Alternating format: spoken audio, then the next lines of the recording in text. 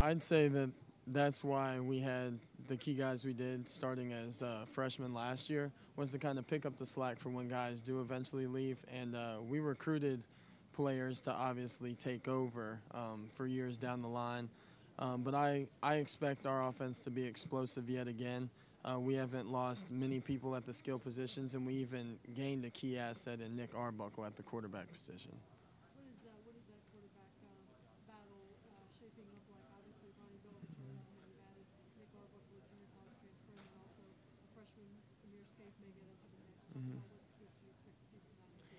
Um, I mean, each of them are strong in different aspects, um, but they all they are all great quarterbacks. And down the line, it's just going to come down to what the coaches think after camp and after seeing them in action out on the field. Like to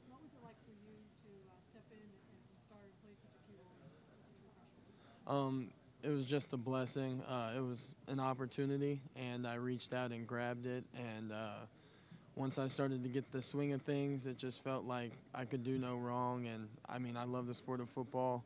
Um, it was great, and I look forward to doing it again this season.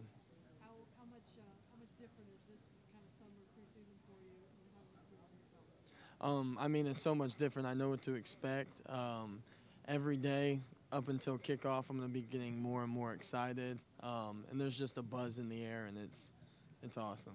What you had some success as a freshman. What kind of things did you work on in the offseason? Um, I worked on blocking. Um, a big thing for me is uh, I'm an undersized guy at the tight end position, and uh, we want to get our run game going. And so, in order to get the run game going, every man has to do their job and pick up their own block. And so, I need to make sure that I continue to work on my run block.